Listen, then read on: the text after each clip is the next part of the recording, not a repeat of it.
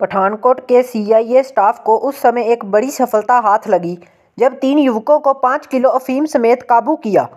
SP Manoj Thakur ने press वार्ता करते हुए बताया कि उनकी पुलिस पार्टी को गुप्त सूचना मिली थी कि पठानकोट के मलकपुर चौक में तीन युवक नशा बेचने की फिराक में हैं, जिसके चलते तुरंत उनकी पुलिस पार्टी ने मौके पर पहुँच इन तीनों युवकों को काबू किया और जब इनकी तलाशी ली गई तो इनसे पाँच किलो फीम बरामद हुई।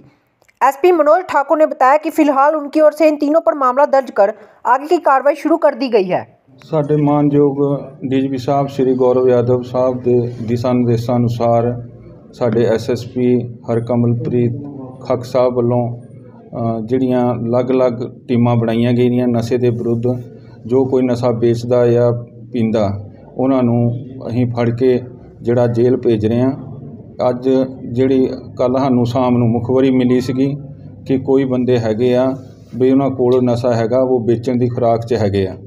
ਤੇ ਅਸੀਂ ਟੀਮ ਜਿਹੜੀ ਆ ਐਸਆਈ ਹਰਜਿੰਦਰ ਸਿੰਘ ਤੇ ਡੀਐਸਪੀ ਡੀ ਸਾਹਿਬ ਨੇ ਜਾ ਕੇ ਮਲਕਪੁਰ ਚੌਂਕ ਦੇ ਵਿੱਚ ਜਾ ਕੇ ਜਦੋਂ ਚੈੱਕ ਕੀਤਾ ਤੇ ਇਹ ਤਿੰਨ ਨੌਜਵਾਨ ਜਿਹੜੇ ਸਾਨੂੰ ਮਿਲੇ ਆ, ਇਹਨਾਂ ਤੋਂ ਜਦੋਂ ਚੈੱਕ ਕੀਤਾ ਤਾਂ 5 ਕਿਲੋ ਅਫੀਮ ਜਿਹੜੀ ਸਾਨੂੰ ਬਰਾਮਦ ਹੋਈ ਆ।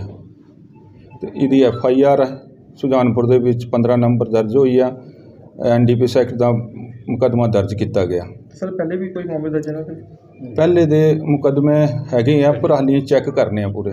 ਸਰ ਅੱਜ ਕੋਰਟ 'ਚ ਪੇਸ਼ ਕੀਤਾ ਕਿੰਨੇ ਦਿਨ ਦਾ ਰਿਮਾਂਡ ਅੱਜ ਜਿਹੜਾ 3 ਦਿਨ ਦਾ ਰਿਮਾਂਡ ਮਿਲਿਆ ਇਹਨਾਂ ਦਾ। ਇਹਨਾਂ ਤੇ ਹੁਣ ਚੰਗੀ ਤਰ੍ਹਾਂ ਪੁੱਛਗਿੱਛ ਕਰਾਂਗੇ ਤੇ ਕਿੱਥੋਂ ਇਹ ਲੈ ਕੇ ਆਏ ਆ ਤੇ ਕਿੱਥੇ ਇਹਨਾਂ ਨੇ ਵੇਚਣਾ ਸੀਗਾ ਤੇ ਕਦੋਂ ਦਾ ਇਹ ਵਪਾਰ ਇਦਾਂ ਦਾ ਕਰ ਰਹੇ ਨੇ। ਕੀ ਨਾਮ ਹੈ ਰੁਪਈਆ? ਦੇ ਕਿੱਥੋਂ ਲੈਣਾ? ਇਹਦਾ ਹੈਗਾ ਇੱਕ ਦਾ ਗੁਰਦਿੱਤ ਔਰ ਦੂਜੇ ਦਾ ਹੈਗਾ ਨਿਰਵੈਰ ਸਿੰਘ। ਤੇ ਤੀਜੇ ਦਾ ਹੈਗਾ ਕਸ਼ਮੀਰ ਸਿੰਘ।